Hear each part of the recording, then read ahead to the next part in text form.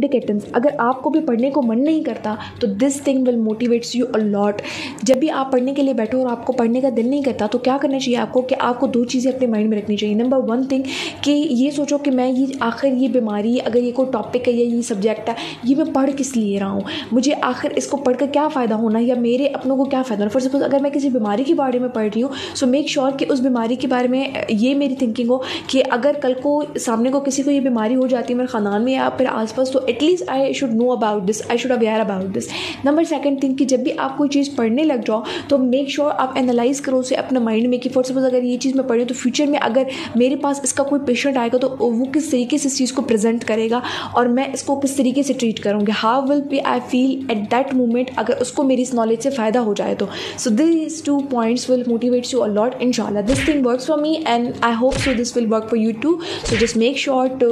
use this and share with this friend friends